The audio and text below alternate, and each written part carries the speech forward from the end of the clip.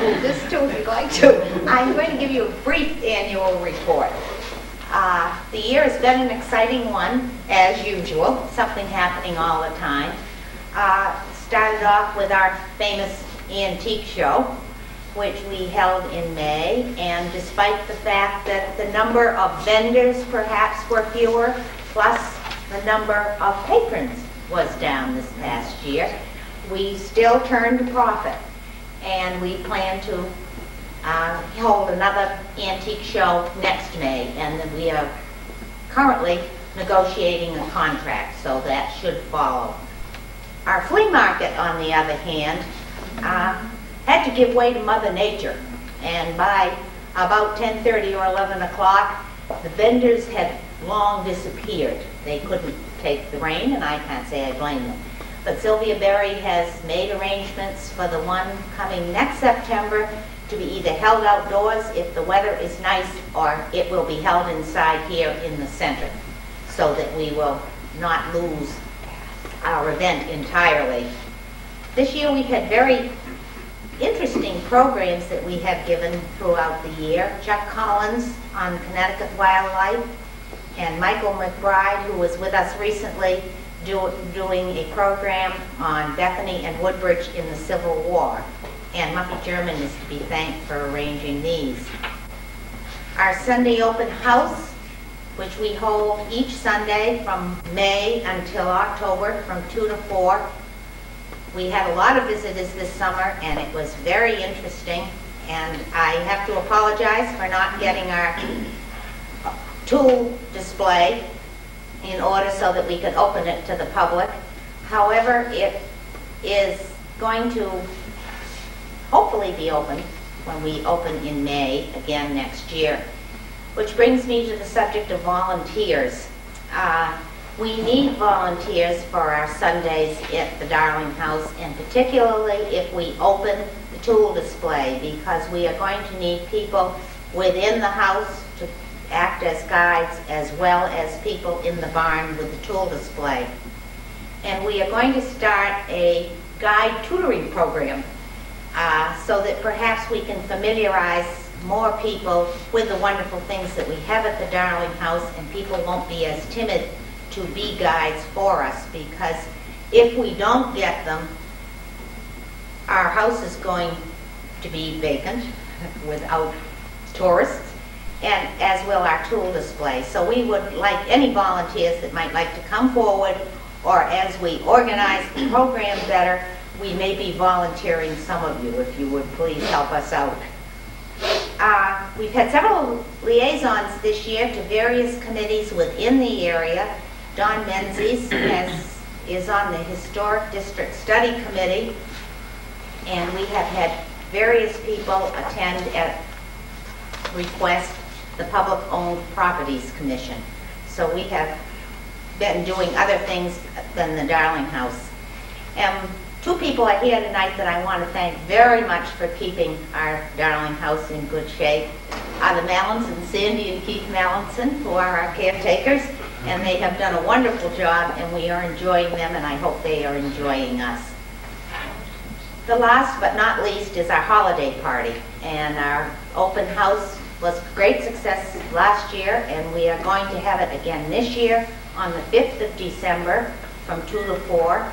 We will have music, we will have people performing, and also our carol singing, and goodies and good fellowship. Muffy German, who did a wonderful display for us on uh, Thomas Darling that was in the Woodbridge Library earlier this year, is going to recreate her display for us at, for the party, and we thank her. I think at this point, I would like to thank everybody who has been supportive of me, and it has made my time as president on the board a very pleasant experience, and I couldn't have done it without everybody's help. And at this time, I would like to call on Muffy German, I believe, to read our nominating committee. The um, slate is as follows. For President, Don Menzies. Vice President, Wilson Kimnock. Recording Secretary, Elaine Allen. Treasurer, Stuart Peck. Corresponding Secretary, Hope Snyder. Pat, uh, and past president-to-be is Ellie Jones. Board directors with terms expiring in 1996, Polly Schultz, Sylvia Berry, Bunny Yesner, and Mary Dean. Thank you very much. Uh, Alan Dan was chairman of this committee and unable to be with us this evening, and his committee was, consisted of Muffy German and Hope Snyder. Are there any further nominations from the floor? If not, I would like to ask for someone to make a motion to accept the slate as presented. So moved. Second? I second the motion.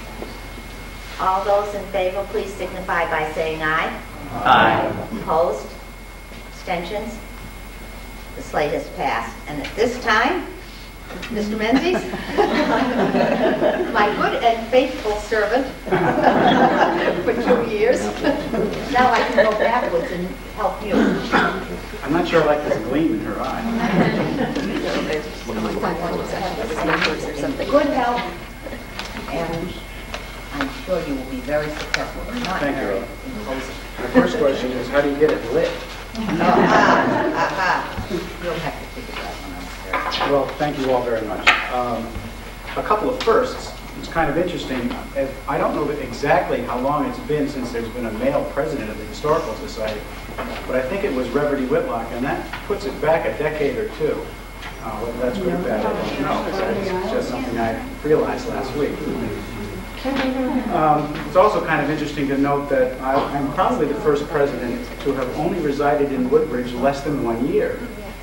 We uh, rolled down Carrington Hill, as it were, in February and landed in front of the old Bishop Place, uh, just south of the Darling House, where Dana and our three girls and I live now. Uh, But it's only been since February, so I haven't really been a resident a year yet.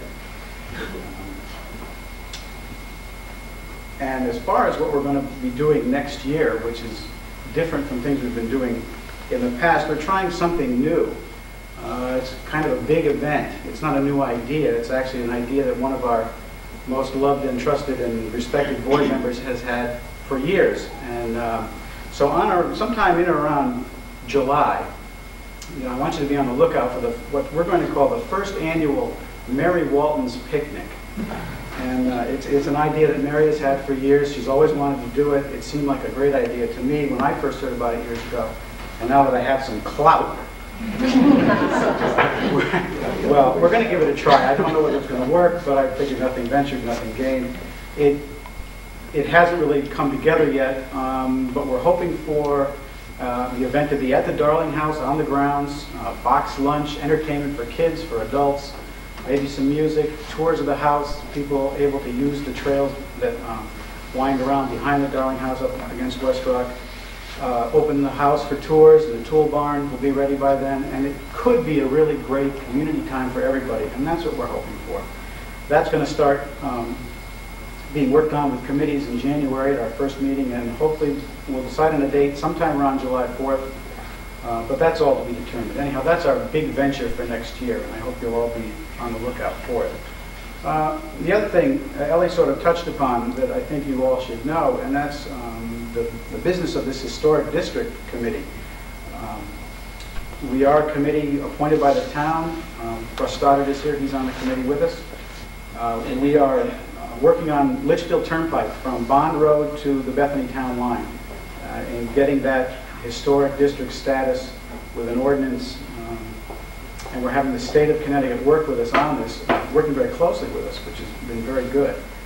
Uh, We are this Sunday having a a tea at the Darling House. The Historical Society is is hosting it for the members, the people who live within the district who uh, would be affected by it, to answer their questions, uh, alleviate any fears they might have, and uh, just present the the whole idea of a district and and what it entails.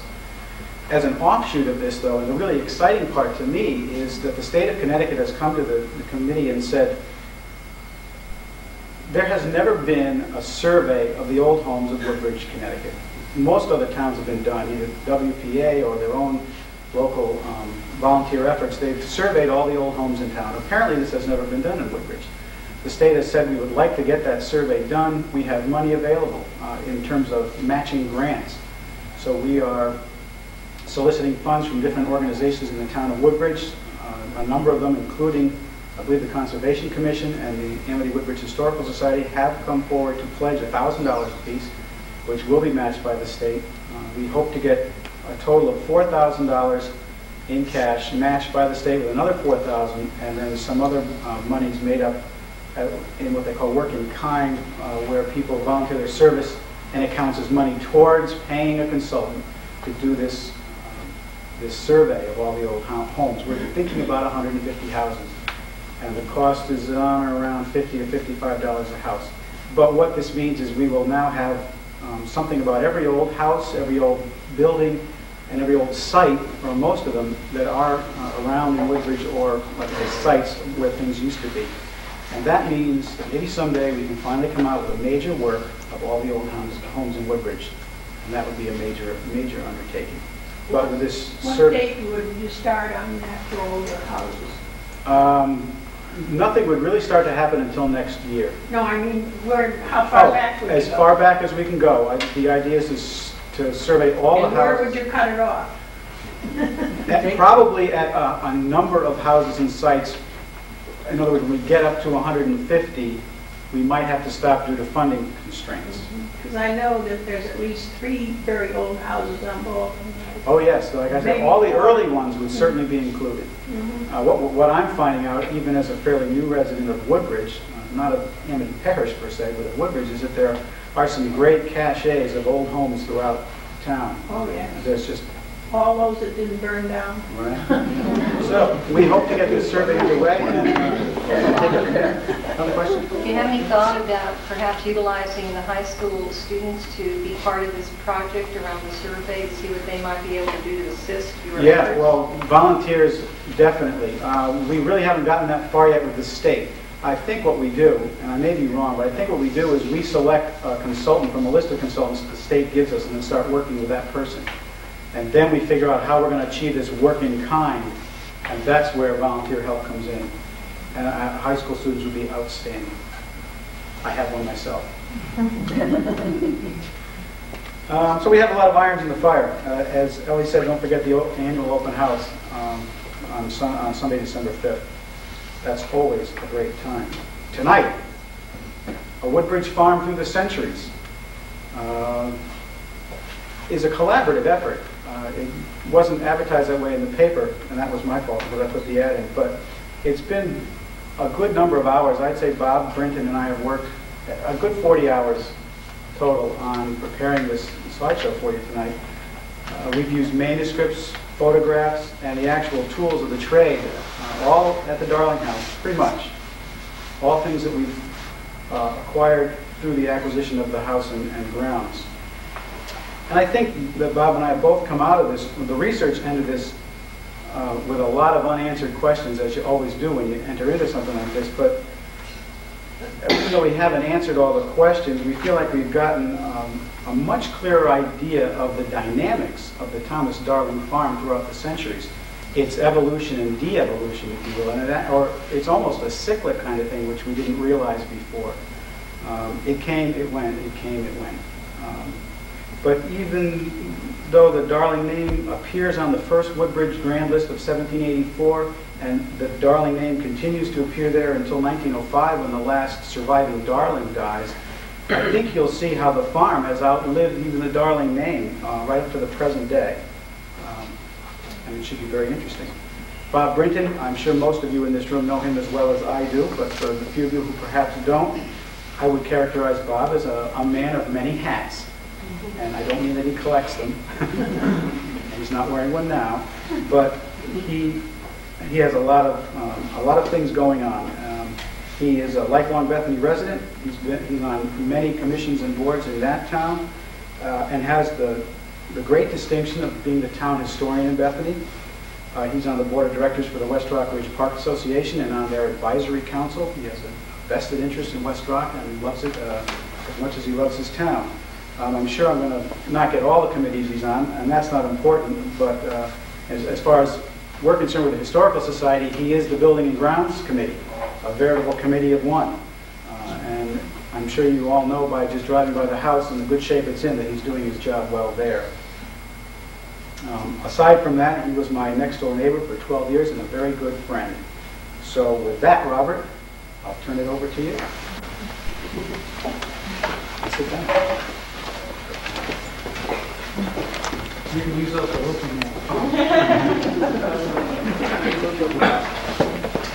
Good evening. Uh, Thank you for coming. Glad to see you all. Uh, Tonight's talk is going to be about Woodbridge Farm through the uh, centuries, and we're really talking about uh, a little over two centuries. Uh, We're all familiar with the the Thomas Darling House and a little bit uh, with Thomas Darling himself. But not much has been done on the house and the farm subsequent to the death of Thomas Darling. And we're going to talk a little bit about Thomas Darling tonight, but um, I want to point out that there have been five talks over the years on Thomas Darling's life. Thomas Darling uh, was born in 1720, moved to New Haven in 1722. Really spent most of his life in New Haven. He didn't come out to uh, Woodbridge until he was getting along in years, about my age. and uh, when he did come out and set up a farm, he, he only lived there in the, in the house for 15 years. Most people don't realize that because they associate the house with the building. But out of the two centuries, or over two centuries, he lived there just about 15 years. Uh, the very first talk on Thomas Darling was given in 1940 by Lucy Finney, the originator, or one of the um, originators of the society. Uh, the next three talks were given uh, by Carol Means, and the most recent one was given by Andy German.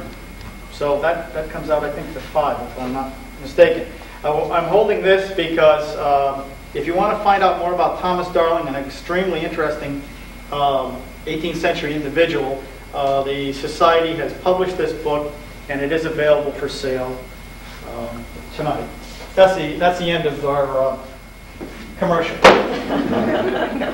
All right, uh, does anybody know how to turn off lights? And um, Don, you want to operate the, get the machine going? Will, you're going to do that? Bob, you're going to do the audio? Or is the audio on? Okay. I'm not too good at handling the technical aspects, so uh, we need the younger generation for that. Turn all the lights on. Sure. Yeah. Sure. We're not afraid of the dark.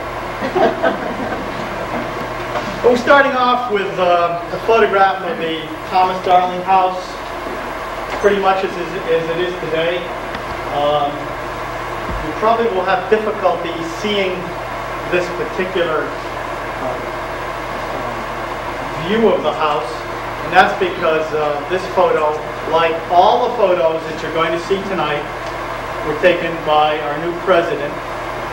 Uh, however, he took this one from a tree. Am I correct, Don? Yes. He climbed a tree to get this one. Um, he, he uh, becoming president tonight, he's going out on a limb again.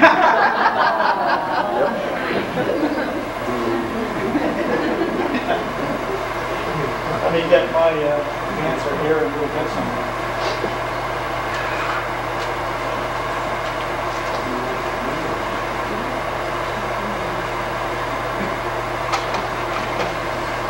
Thomas Darling, as I mentioned, uh, came to New Haven as a young man.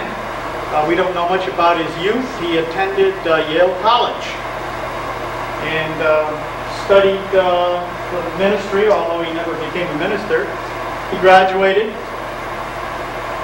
became a tutor. He taught um, Ezra Stiles, for instance.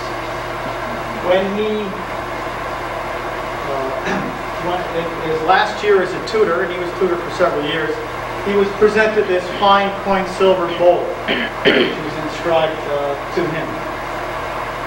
Same time, about the same year, 1745, he married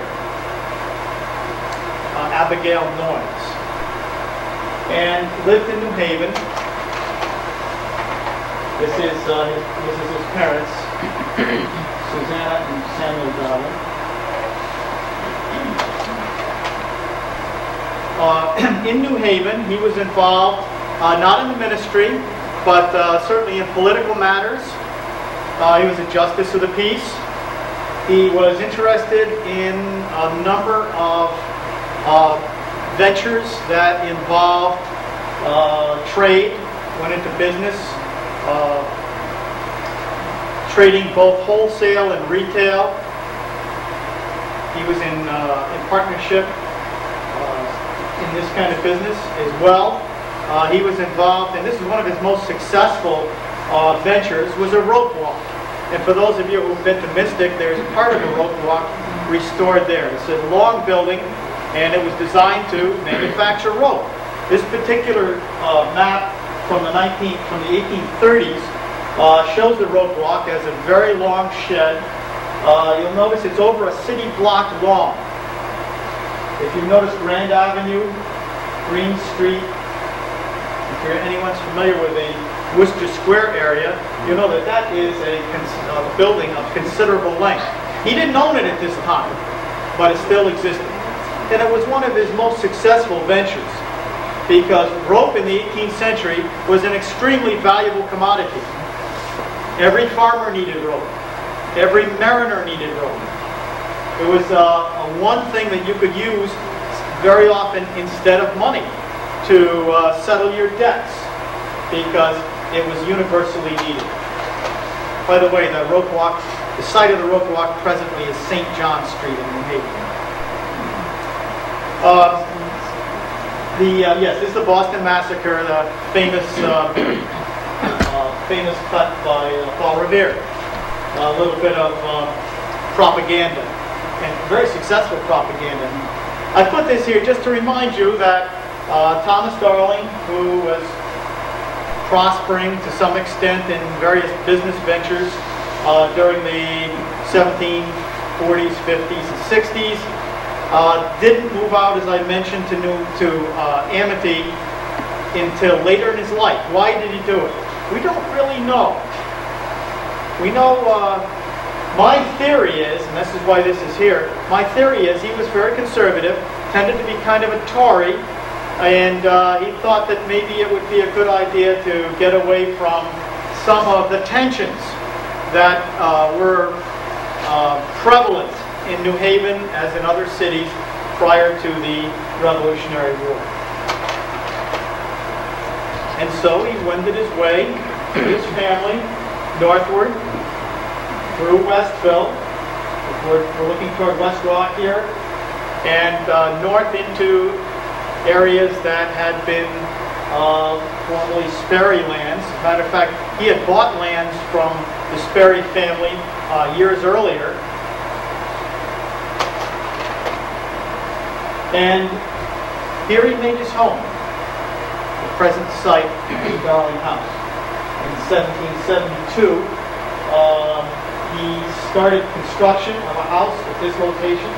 This is an interesting map. It's the earliest ma- manuscript map we have in the Darling uh, family papers collection. Manuscript maps are extremely uh, rare, and, and we have a number of them. The reason we have a number of them is both Thomas's, Thomas Darling's son and grandson were surveyors. They did their own, they did their own work. This particular map is, uh, I believe, uh, late 18th century. This may be from 1790. The reason I say that is there is no Litchfield Turnpike here. It doesn't show doesn't show a road. It does show in meticulous detail, uh, but you can't see the rest of the farm, uh, 150 or 200 acres. Uh, he shows the house that was built. Says house. There's a house, and this is the interesting part. Old house. There was an earlier house on the property that belonged to, uh, I think, the grandson of Richard Sperry, original settler of, uh, of this area. And uh, when Thomas Darling purchased the property, he built right in front of the uh, existing house. This house, we believe, occupied the site of what is today the uh, chicken coop, the back of the Darling house. This is probably pretty much what the Darling house looked like in Thomas Darling's time. Uh, we selected this particular photo because it uh, eliminates more, most of the later additions and uh, Victorian trim work that, uh, except for, of course, the fence, this is a later period. But the rest of what you see there is pretty much what Thomas Darling would have seen. It's a handsome house. It's a, it's, this is not a typical Woodbridge house. This is a house that was built by someone later in life who had achieved some prosperity and uh, uh, certainly uh, a great deal of um, recognition. This is a man that had been involved in politics in New Haven. He had been, uh, he had run for mayor of New Haven. This is somebody who communicated, wrote letters to Benjamin Franklin and, uh, and the like. This is not a typical farmer's house. Ceilings are nine feet tall. Very unusual. You're not going to find many, I don't know if there's another 18th century house in Woodbridge that would have had nine-foot ceilings. Another thing it had, uh, which you can't see in this particular photograph, but you will see later, is it had twin chimneys, which means it had the center hall, this door facing south, which allowed a greater number of fireplaces that you, than you would be able to find in a center chimney house. Characteristically, a center chimney house, uh, you would get uh, far fewer fireplaces. This house had eight fireplaces. Extremely unusual. Uh, not long after the house was built, it was hit by lightning. And uh, we, we presume that uh, since Darling was, uh, according to letters that were found in the house, um, conversant with uh, some of Benjamin Franklin's teachings or findings about scientific matters, the one we're most familiar with is his interest in glass making. Uh, that was one of the thoughts that uh, Thomas had that he'd go into the glass making business. He never did. Uh, but the house was hit by lightning, and we think that as a result of that, shortly after 1777, this very early lightning rod was put on, and it still survives. You can see a, um, just a, a brief view of uh, what Thomas Darling's house may have looked like. Uh, this particular room in the house has some of the earliest furniture that, that uh, survives. Uh, according to, to tradition, this was not on, this chair not only belonged to Thomas Darling, but was his favorite chair. This early clock, Brassworks clock, uh, we believe probably was made in New Haven and probably belonged to Thomas Darling. Uh, when uh, Don Menzies went through the tax records and go through the tax records he did uh, from 1784 until 1950, one of the things he did was trace the ownership of what we think is this plot. By the way, Don, if I make any mistakes, uh, we'll give you five minutes for rebuttal at the end. Almost as soon as the house was built, perhaps even earlier, barns were required. Very important to house your animals, because this was going to be a working farm. And, uh, and, and was. This is a, a scene of a barn raising. Uh, I was lucky enough to get this, this is a much later barn raising. Uh, actually, you'll be surprised to learn that this was taken in 1908. A barn that was being put up on Amity Road um, by um, uh, you see the second bend going up. This is Ina Vestal's old house. Uh, the back of the salt box there? Uh, Wilbur Lowndes is Wilbur Lounsbury, who was a builder. He's footing one of the vents there as it's put up. I just put this in here to show you how some of the construction would have taken place for this very early barn. This barn, in my opinion, uh, dates from the 18th century. Has a, uh, an oak frame rather than the chestnut that's found later in the 19th century. Probably the earliest outbuilding on the property. Yes. Why did it change color? Um, it's been, it's been green colored since I was a little kid. Yes, it was. Um, This was a decision that was made because it's probably uh, more authentic. We assume that these barns originally were red. As a matter of fact, we do have some barn boards that have red paint on them. Surprisingly enough, you're going to find out in a while that not only were the barns red, but the house was red. Red was an extremely popular paint in the 18th century. We have a, a photograph of a house when it was painted red in the 1870s. And if you uh, had been at the house this winter when we had a little leak, which caused the section of original clapboards on the porch to peel. You find that all of the white paint came off and there was a nice bright red uh, left over from uh, the very earliest paint that was put on. Uh, This is just to indicate the kind of conditions, this actually was a, uh, in that photo was in the 18th century, but in the Darling House collection, we happen to find this photo uh, that shows some uh, land clearing taking place at the Woodbridge Orchards property on Newton Road. But uh, probably, except for the attire, the, uh, the technology of clearing the land, the Darling property, was, was probably not very much different from this. Uh, Maybe would have had pair of horses there, could have been oxen, tipped cart, and uh, bars, sledges, and a lot of muskets. We, we think that probably Thomas Darling wasn't doing this kind of work. As a little sidebar here, having not done much in this property, uh, but I did dig a couple of post holes a few years back to put up the, the sign for the Thomas Darling House, which you'll see later, and I encountered nothing but rocks. That, a few inches under the ground there is absolutely nothing but rocks.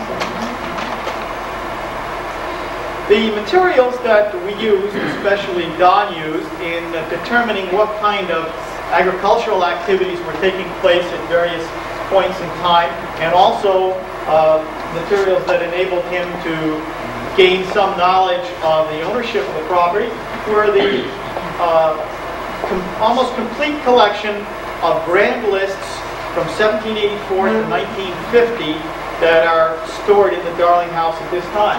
This happens to be 1784. Beautiful lighting. Unfortunately, I didn't learn to write like that in school. And remember, this was probably done with a quill pen. The, um, this is typical of the, how many did you go through, Don? Um, 17, well, 17, over, over 100 of these you went through, didn't you? Obviously. Uh, this gives you an idea of what's going on here in 1784. Happens to be the earliest one we have in our collection. Uh, Thomas Darling, our builder, he has two oxen, 15 and a half cows. We're not sure what you do with a half a cow. we know what a side of beef is, but I don't know exactly how you milk a half a cow. Uh, three and a half horses. Well, I don't think that we have a half horse, half cow here, but uh, what may have happened is he may have owned a share with someone else. We don't know. Um, as Don pointed out, research is in my experience with research is interesting uh, in that I've always found that for every question you a- you answer through research, you create two more. That's the old uh, one step forward, two steps back idea. Uh, he has what? How many acres there? Is that uh, 300? A little over 300. About 300 acres. Uh, there's the clock. We don't understand why there's salt meadow there unless the uh, sea level was higher there at that time. 1790 was the uh, first census of the United States. We started counting who was where. Uh, this is, uh, of course, finds uh, Thomas Darling uh, had expired by this time, and the census lists Abigail. And um, those of you who know the house probably know that at one time, in the early days, there were a number of slaves on the property. And um, Thomas had freed some of the slaves, but in, in the 1790 census, it lists for Abigail four slaves were living in that house in 1790. Now, to give you an idea of the uh, how he fits into the rest of the area, uh, I quickly looked through the 1790 census for all of Amity. That's the Bethany Woodbridge area. In the entire Bethany Woodbridge area, there were 14 slaves, of which four, four of them were on the Darling property. Thomas dies in 1789, and He is succeeded by his son Thomas. This is very confusing. And then he has a grandson Thomas. Uh, we're going to call uh, we're going to call Thomas uh, Jr. Thomas II. And uh, he inherits the uh, property. And he is a surveyor, among other things. He certainly is a farmer, but he's also a surveyor. And he makes trips. Matter of fact, we have a, if I'm not mistaken, we have a uh, diary of his where he tells of traveling to Vermont and surveying out towns in Vermont, a number of towns. There is a definitely a Vermont connection here. When Thomas Darling died, we have a, uh copy of his uh, inventory. He owned he owned land in Vermont, in several several areas in Vermont. I don't know just what. Lots of questions. This is another map. This is both of the both the early map and, and this slightly later map, which probably was made about 1800, are are manuscript maps that were done by Thomas Jr. Uh, we know that it's after um, 1797 because we have the Straits Turnpike Road. And we're going to be saying a lot more about the Straits Turnpike later on. Straits Turnpike is literally central to the Darling property. Geographically, it's central because it divides the property, but it also involves many generations of Darlings. Um, I want to point out two other things about this. The old house is still there, but it's not listed as an old house. Uh, for the first time, a porch appears on the west, on the western side of the Darling house. It's not the porch you see now.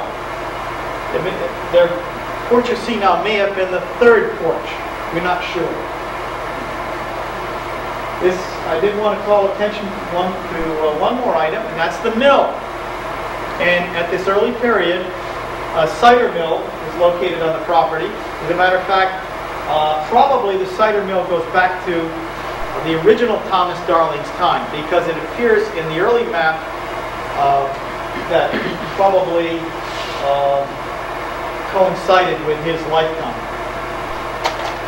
Today, is the area north of the what we call the horse barn, the little field where we used to have our flea markets and tag sales. Uh, I once uh, taped off the location of the mill. I can't remember where it is anymore, but the mill was located just about in this area, and we have in the Darling uh, papers a record of some of the sales of cider, and a tremendous amount of cider was made in this mill in the early days by evidently several generations of Darlings. Very difficult to read. Uh, I guess that's probably an understatement. But uh, these, this is uh, again from the, from the uh, archives of the uh, Thomas Darling House. Uh, we have a list of earmarks. Woodbridge, mm, Thomas Darling, and this is the earmark for his creatures is a hole in the left ear. So this is kind of agriculturally related. Uh, in those days, if your animal strayed, the only way you could get your animal back was to be able to identify it, and you identified it by a particular uh, marking in the ear, and this was something that was required. Back to the turnpike. Uh, another early manuscript map, survey of the Straits Turnpike Road, uh, and the Shunpike from fork to fork. I'm only showing you this, the uh, lower half of the map here. Uh, this is a manuscript map, or this is actually taken from a manuscript map. Again, made by Thomas Darling Jr., dated 1817, I believe, yes. Uh, it- it's extremely uh, useful. It shows, uh, I kind of like this, this shows, this says the greatest distance road to road. And um, tells the number of rods, and I actually scaled it out and was able to locate a couple of things using that scale. Uh, This is, for those of you who uh, want to be oriented here, this is Pond Lily. This is gate, that's a toll gate, probably just north of present-day Bradley Road. Bond Road probably hooks off here. That was the old county road, which doesn't show on here anymore. This is Straits Turnpike Road, and this says Shunpike. That's where you went when you didn't want to pay toll. I don't know if any of you people have ever gone around toll gates. I've heard of it happen. And this greatest distance, uh, Downs Road is probably here, and this is the area we used to call Dead Man's Curve. Now it's been eliminated, but it goes back to the 1790s. Uh, Thomas Darling Jr. here in 1810 uh, owned shares in the Straits Turnpike Company. Also, he was the clerk of the Straits Turnpike Company. And for this reason, anytime that people had monies coming in to the Turnpike, which was a joint stock company, uh, or going out of the Turnpike, being paid out, they went through him. And because the Darlings didn't throw things away, uh, we still have thousands of documents relating to the Litchfield Turnpike. We have records of the tolls that were kept by the toll keepers. Uh, we have records of tools that were bought or repaired, uh, days of work with um, oxen and men. This is just one example of such documents. Uh, Thomas uh, Jr. Uh, dies in 1815, and now the uh, the waters get a little muddier. Uh, Don's research indicates in a couple of at a couple of times that what we had always assumed to be the line of succession of the house may not be correct. And we're not going to be able to really verify these uh, suspicions until we do some research with uh, land records. And this may be done to some extent in conjunction with the study associated with the uh, upcoming uh, historic district and the, uh, and the uh, survey of homes that goes along with it. In this case, um, after Thomas Darling Jr. dies, or the second dies, uh, it appears that instead of passing to Thomas, as it as shows here, it appears that John, an older brother, had the property for about 10 years, from 1815 until his death in 1825. And at that time, it appears that it passes on to Thomas. And the reason is that the house and the much of the property seems to be associated with John rather than Thomas at this time. Uh, a couple of other uh, darlings that we're going to be mentioning is an older brother, Noyes, uh, and a younger brother, James. Noyes darling, first maize breeder, uh, systematic maize breeding began here, there's our darling house.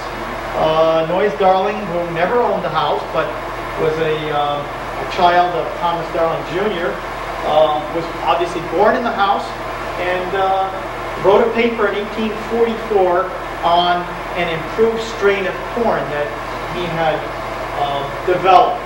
So this shows that the family, even though they had other interests in uh, surveying, for instance, uh, as did uh, both Thomas II and Thomas III, even though they may have had in, um, investments in the uh, turnpike, as did both Thomases, second and third, uh, farming was still important. This house, which uh, stands north of the Darling House, the old Olson House, um, I suppose we should say it's the Polk House today, but it's kind of difficult. You know, one of the things about living in a New England town is you never own your own house you live in an old house. Don, you're going to find that out. You're always going to live in the Bishop House. After you're dead, it's going to be the Menzies house. Well, that's something to look forward to. At any rate, uh, James Darling uh, built this house, and uh, we're going to find that later on this is um, this was part of the original Darling farm. You're going to find that this is uh, uh, this property that uh, some of the property of the farm is going to be associated with this house probably rather than being associated with the Darling House. This is Thomas III. Uh, Actually, a better, better uh, photo of him is, uh, a better shot of him is uh, with a conservator, but, uh, and this is his wife Lucy Newton. Probably around 1840, Don. Don's the expert on this. People were not very happy in 1840, evidently.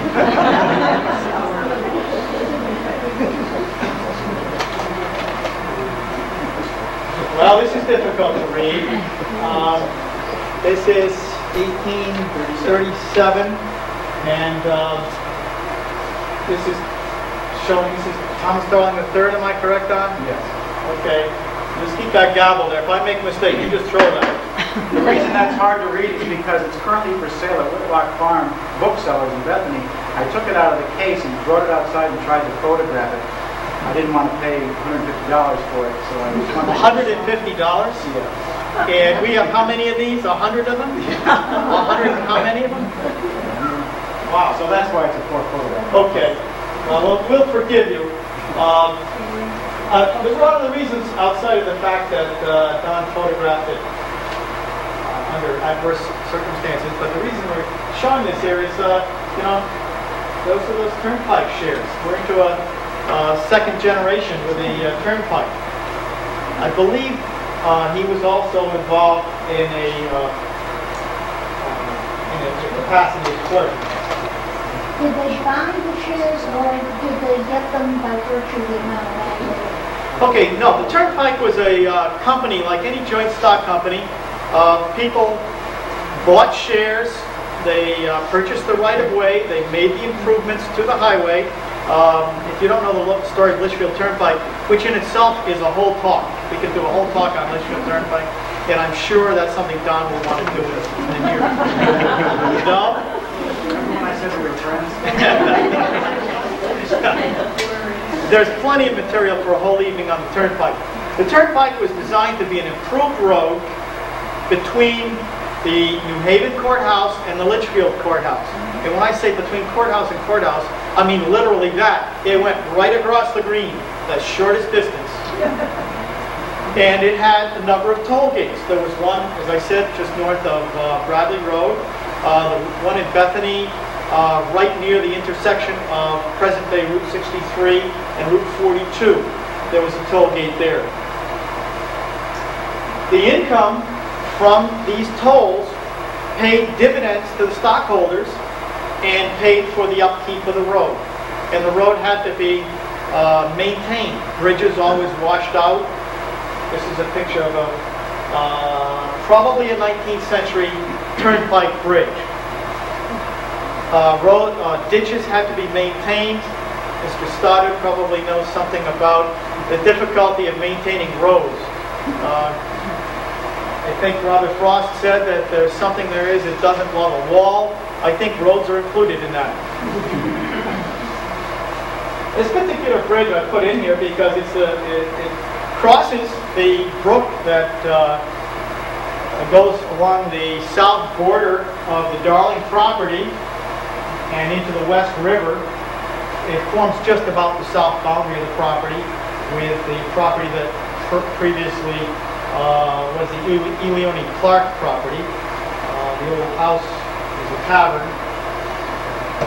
Dr. Kane lives there now. I guess we can, we'll- we'll, we'll go 20th century for a while. Uh, I'm kind of interested in this because that's an early bridge and people don't realize this old stone bridge is still what holds Litchfield Turnpike up. When you're coming north from Clark Road, that's what the trailer trucks are still going over.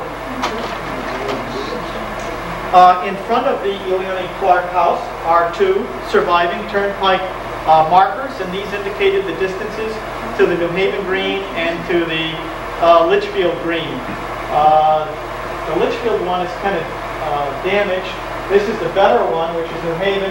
Why it says X minus V, I don't know. It's supposed to be five miles. I think if I were doing it, I would have just put a V, but maybe somebody can figure out, figure out why uh, what this notation means. It's a mystery to me. Okay, uh, we've been going kind of chronologically, and uh, at this point, we're going to stop the clock, something that we'd like to do uh, if we really could do it, but we're going to stop the clock for the next uh, few slides. And we're going to look at what farming was like during the period that the Darling house and farm were in the hands of Thomas Darling III and his wife uh, Lucy. Uh, Lucy. This was uh, pretty much from 1825 to 1873. you know, that just brackets the middle of the 19th century. How did people farm in the mid-19th century? What were they doing? So instead of telling you how many cows they had in each year and boring you to death, we're going to look at this. This, this map happens to be from uh, 1868, Beers Atlas of New Haven County. And uh, there's your T. Darling. We know that that's, uh, that's got to be Thomas Darling III. There's the, uh, does that say Old Litchfield Turnpike? Yes. Old Litchfield Turnpike, okay. Um, And West River. The east boundary line was the summit of West Rock. I don't think that big pine tree's there anymore.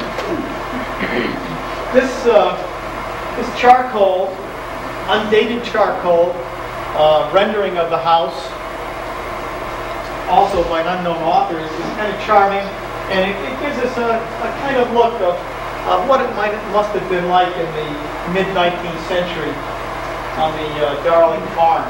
The uh, West Rock in the background, the turnpike just out of sight here. Few cows.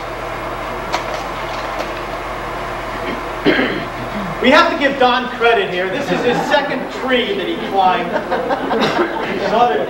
this. Is, this is, uh, it's, it's an absolutely beautiful photograph. It was taken just a few days ago. Um, you sure you want a president who climbs trees? How high did you have to go here, Don? Um, I think I'm about 20 feet. 20 feet up. Uh, and in moderate height, if I ever heard. But uh, it, it gives you a view that you otherwise couldn't get. Uh, the corn stubble in the, in the foreground, the old barns and the house in West Rock. It, it, it just epitomizes what the house probably looked like in the 20th century. He's managed to, to lose all the electric wires and there's no cars going by. We kind of imagine that uh, we're stepping back in time. Well, I guess we are stepping back in time. Typical transport in the mid-19th century would be the ox.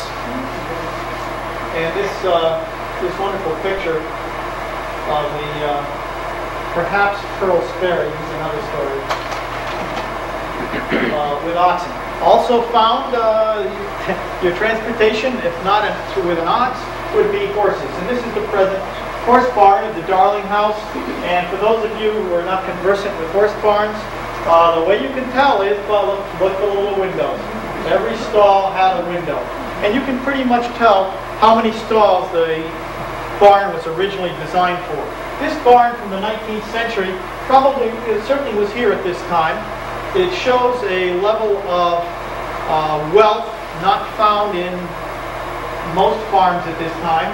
A specialized building just for horses and carriages. This is the inside of the barn, showing the stalls.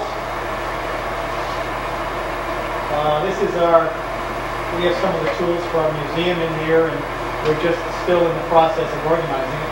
All we need is time.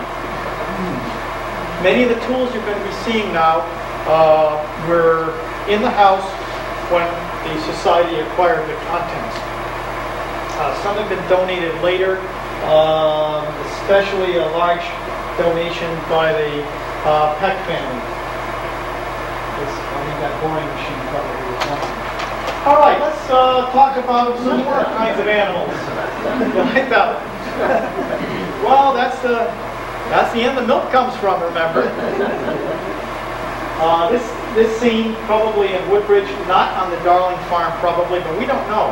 This is an untitled one, uh, but it's it's certainly what a barn would have looked like in 1850 uh, or 1900 or 1925 or Notice no, how, actually when I was a kid.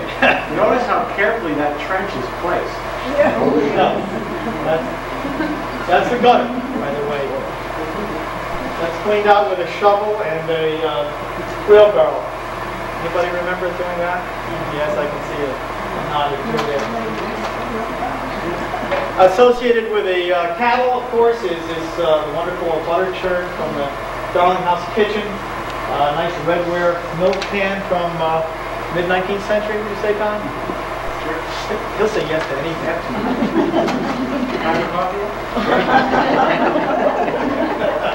That's right. It's only me that stands between you and the uh. Uh, to keep those uh, critters going, they had to be fueled.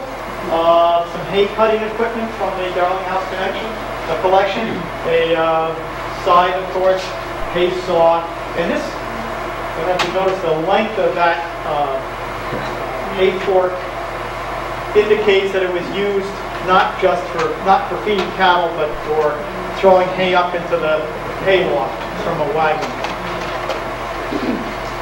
This is a photograph, a little hard to take. where, Uh, poor Don had to stick his head into the old pig house and uh, was able to take a photograph of this early hand, uh, handmade trough hand, made out of a hollowed out log.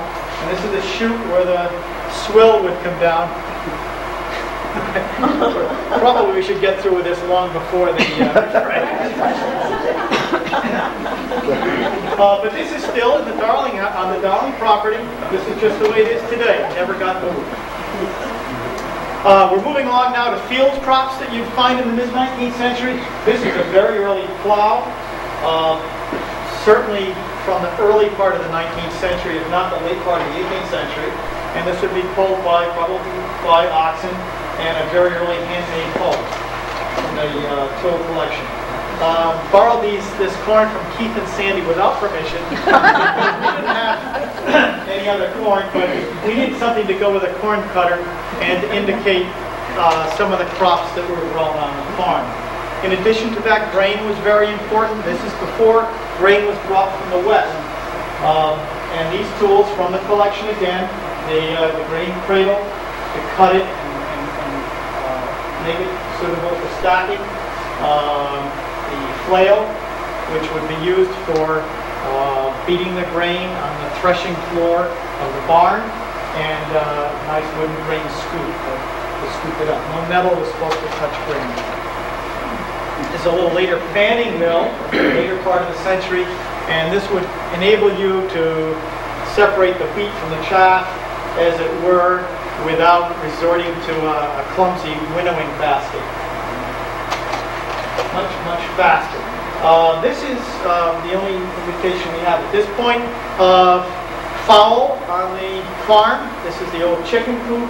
Uh, we recently, recently, a few years ago, we did a considerable amount of work to it because we really wanted to save it. I know it's just an old chicken coop, but how many chicken coops are left in Woodbridge? Not many. Uh, the other thing that's important about this is, if you remember from the earlier, uh, the two earliest maps, this is the site of the early uh, Sperry House. And, and this retaining wall that's in, nearly invisible probably was part of the foundation. Bees!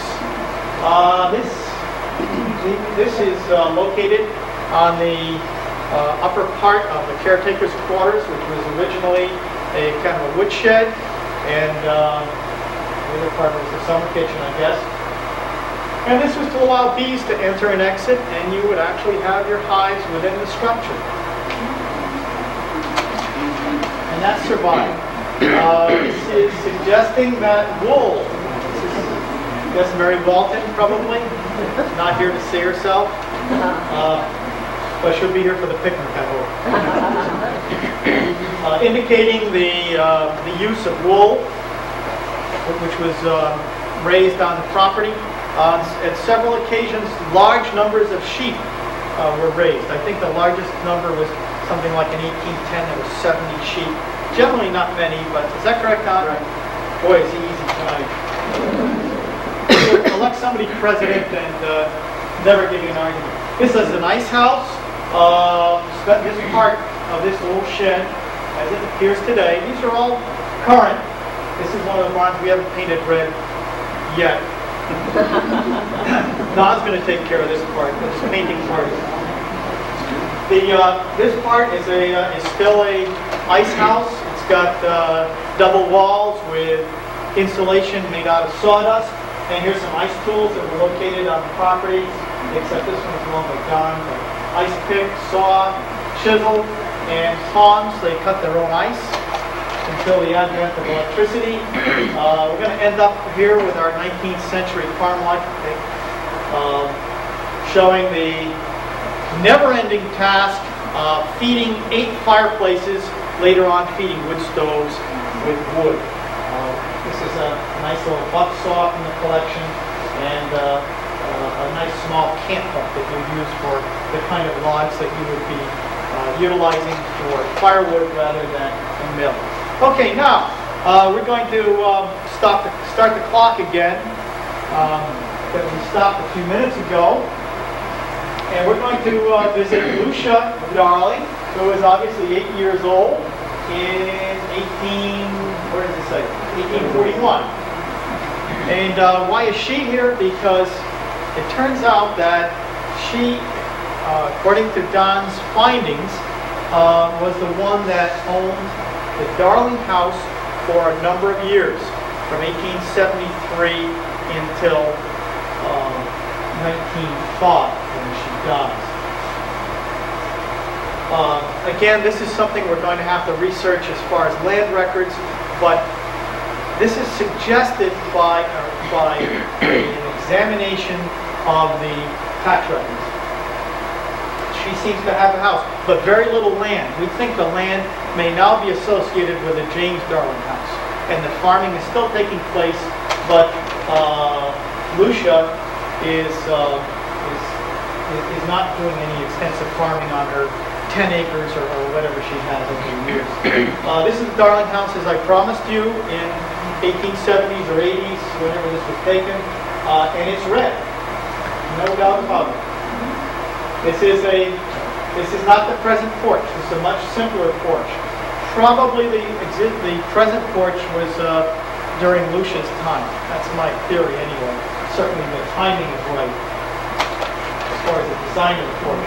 Uh, This map from uh, 1892 by Donald Mitchell is one of the few things we have graphic, of a graphic nature to indicate the agrarian pursuits on the farm at this time. And this shows the house, um, the, the barn, probably a horse barn, although they're not connected there, a large barn on the west side of the road. To orient yourself, by the way, this is Litchfield Turnpike, uh, Clark Road. This is the James Darling house that we saw earlier. Uh, We think that at this time Lucia probably had just a very small area. Uh, One thing you might want to note here is uh, the little brook that goes, remember we looked at the culvert there? The other thing is, the, the one, uh, the, the two agrarian things we can tell from this map are one, the, uh, the orchard in back of the house, going, which goes right back to the earliest days, and there certainly seems to be a line of sugar maples along the road. Uh, Whether these were utilized for uh, um, tapping or not, I don't know, but it it certainly seems likely to me. Uh, Lucia, I I put this in here just because I figured you were tired of black and white stuff. And uh, probably Lucia had flower gardens in much the same area that we have them today.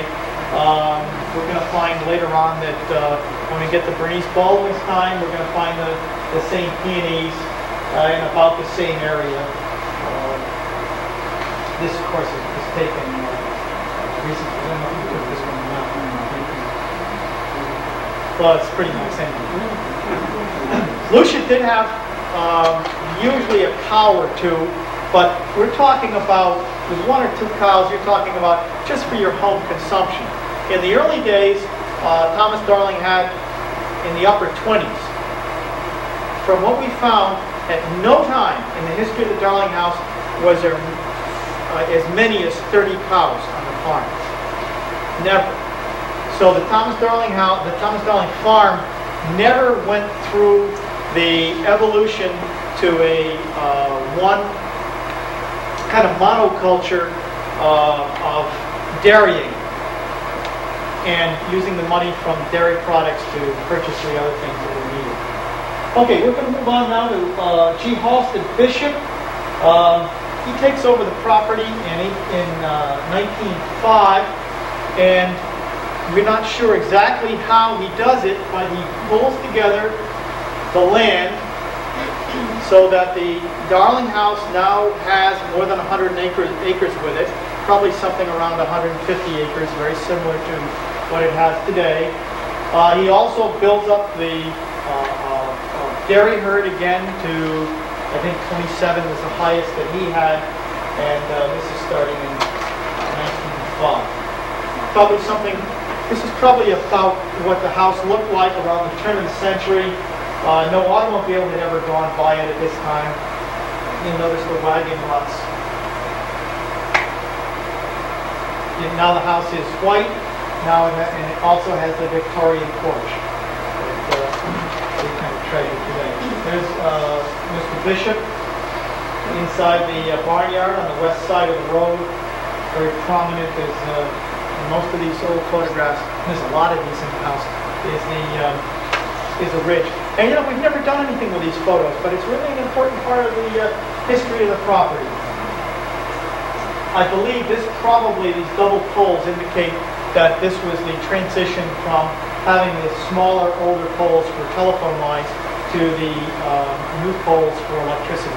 And when electricity went through here, I don't know. That would be interesting to, to find out. Was he related to the Darlings? Uh, yes. Do you want to explain how? Because you're uh, more conversant with the, the Darling.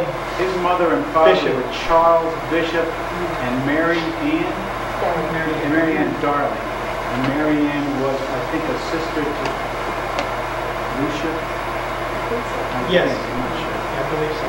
We could go back, but we're, just make it longer before we get refreshed. It gets more difficult the next generation. Well, yeah, Don, uh, Don's done a, a good deal of research because he now has a bishop house and, you know, there is, there's definitely a connection. Right, Don? Right.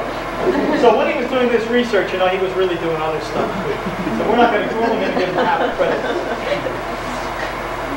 Russ, do you happen to know when electricity went through this area? Do you have any idea? Probably around, uh, nineteen, fifteen, nineteen, Around that one? In Bethany, we got a little bit later, but uh, 15 and 20. So that, Haven't yet, okay.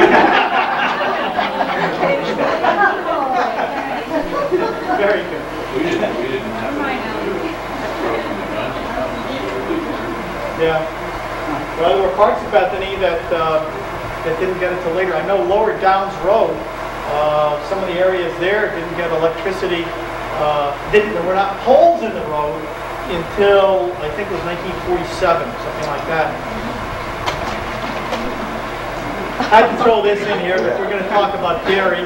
Um, While we were looking for photogenic subjects, uh, this was up in a beam in the barn, and obviously has been there since this property ceased to be used for um, dairy. Probably back in the, in the early 30s. And these are probably G. Halstead's uh, cattle here. Um, We assume it's on the west side of the road. It's difficult to tell exactly where that is. Bernice Baldwin, uh, who is uh. Halstead Bishop's stepdaughter, and uh, this this is at a period uh, certainly before the advent of running water. There's our privy that we're still very proud of, our functioning privy. Uh, many of the photographs show a wooden sidewalk. Wooden sidewalk went right to the back door. You didn't get your feet wet if you were in a hurry. Um, this this structure here was the pig house.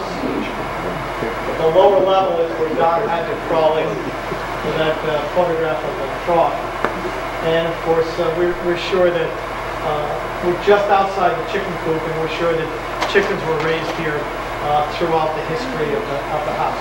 G. Halstead himself, sitting in the uh, uh, west parlor. Uh, it's kind of interesting because it gives us an idea of how was this property used in the 20s. Uh, was it set up as a museum like it is now? Obviously not. But many of the photographs, of which you're not going to see tonight, many of the photographs show uh, the, the pieces of furniture that were passed down through the family, um, being continually utilized. For instance, this is kind of an, uh, an early uh, linsey-woolsey quilt. This desk in the back hall, to the best of my knowledge, and maybe somebody can correct me on this, I believe this is the one that uh, Bishop used uh, as tax collector. He was tax collector for many years. Uh, Ross, I'm going to look to you again. Do you know how many years he was tax collector? Have any idea of the parameters? Good, then I can say whatever I want. I remember when he was. Um, I know I've heard from people uh, associated with the the class that uh, during very hard times when they had difficulties uh, paying their taxes, uh, he made it possible for some of the people down there, some of the farmers, to keep their land. So I think there's a, uh, I know among several families, there's a, there's very good feelings toward the Darling, uh, Darling House because of uh, G. Halstead's attitude. Back to the turnpike, again, the central feature of the farm. Um, The turnpike is improved, there's your, that stone bridge is under there, believe me. Um, We do have electricity here now, we don't have the double pole, so this is probably a little bit later. Uh, But transport was changing. The, and the change was dramatic. Uh, This didn't come out quite as well as we'd hoped. We a saddle, uh, this is a side saddle, and G. Halsted Bishop's uh, license plate. All of these things are in the barn. Uh, What are we, not too subtly, we're trying to give you the idea of a transition in transport. But it's more than a transition, it's a revolution. Because uh, my, uh, I- I've done some reading in the diaries of Arthur Doolittle, who was um, an excellent diarist, and he notes, uh, he notes uh, that this area was used, the the turnpike was used for uh, stagecoaches. I know many of you think think of stagecoaches as the Old West, and you watch movies and stuff, but uh, this was, there was a regular stagecoach line on here from trying to think, back in the 1820s, I think it started. Uh, A journal kept by Tyler Davidson mentions in 1907 that, um, I can't remember the date, but in 1907, the last regular stagecoach ran between New Haven and Waterbury, ran up the Litchfield Turnpike. So as late as 1907, stagecoaches are using this. Ten years later, 1917, G. Halsted Bishop buys an automobile. Now that's a revolution. From stagecoach to automobile in a decade. Uh, a few years later, 1924, his horse, and then we, again, we find this from our tax records, his, uh, he has, no longer has any horses, no longer has any carriages, and now he's into the automobile age. Maybe washing it here, we're not sure. So I see the hose on the ground, he looks like he's ready to do something with that, uh, automobile from the funds. This is the time where I usually run into the, not having a clue why this is here. Why is this here, Don? You always use a picture of the house to show a transition. Okay. I guess I gotta find out what the transition is. Ah, Bernice. Yeah, in 1932, G. Halsted Bishop dies, and the property goes into his estate. His stepdaughter Bernice lives in the house and on the property until her death in 1972. And uh, here she is in front of the front of the house with her lawnmower. I don't think she did all of the duties, but it just, it's, uh, I I think it's an interesting uh, little vignette. At the time that G. Halsted dies, all of the farm animals disappear from the tax records. So that's really the last time that this is a functioning farm for the family. Uh, Probably more than that, uh, probably vegetable gardens are kept, and uh, certainly flower gardens are kept uh, by Miss Bishop. Miss Baldwin, rather. I made a mistake, you didn't catch one. Makes me worry that I may have made another. A series of fortuitous circumstances came together which allowed the town of Woodbridge, and foresighted people uh, were able to purchase the 150 acre parcel and the house and the old barns, and preserve it in perpetuity, as open space. Um, With it, they got the old house, which they, I think, wisely entrusted to the Amity-Woodbridge Historical Society.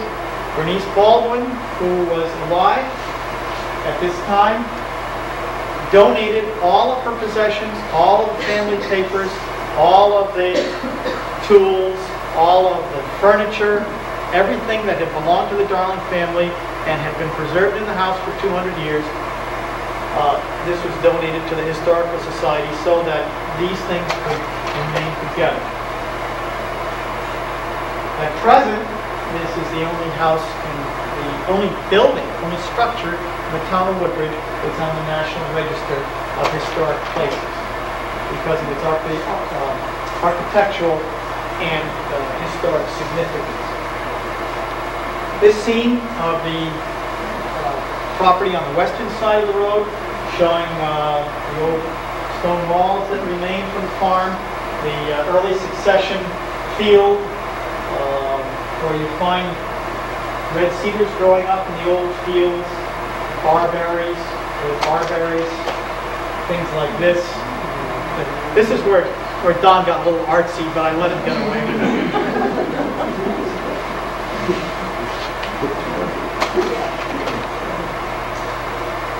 Even though the uh, family no longer farmed after 1932, they did allow others to farm. Otherwise, the fields would have grown up. We would have seen nothing but woods, and we would have been the poorer for it. Uh, this, these fields are being utilized by Fred Shepherd, and uh, this view looking north at the James Darling House from the barn of the Thomas Darling House, uh, showing the corn stubble illustrates this uh. Cattle are still being grazed on the property. Nice Jersey cattle. The house itself is, uh, as a museum, uh, shows us the different periods of family occupancy. The 18th century, the 19th century Victorian, The kitchen of the Darling House, where food and products of the farm were prepared for the family for, for over two centuries. And the Darling House as it is today.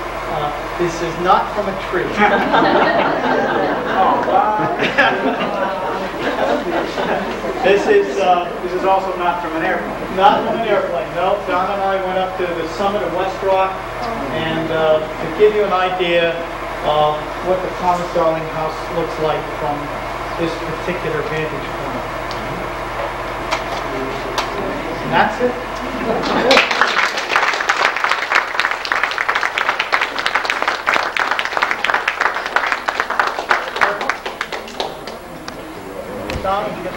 Anybody have any questions for Bob or myself? I'd like to ask about that big stone, the big rock. Um, Did they have dynamite in those days? Or did they have to bury the stone by digging it down and letting it down? You know what they used to do? Uh, yes, they, they had they had uh, the means to they had explosives, no doubt about it. They had firearms. But you know one of the best ways to uh, get rid of a rock like that was to build a fire. Of tires? Just well, no, they didn't have tires in those days. What they did is they got rid of not good firewood, but brush or stumps or anything dry, and they would uh, cover it, build a fire, get it nice and hot, and quench the rock with uh, cold water, and it would spall, would crack. You wouldn't be able to break it all up, but you'd get it down, and eventually you'd whittle it down to size. When my husband was digging our well, there was a big rock in it, and he took old tires and put on it, just like you're saying, made a big fire, and then poured cold water on it. He in three big chunks. Got him out. That'll do it. Any other questions? I guess you all want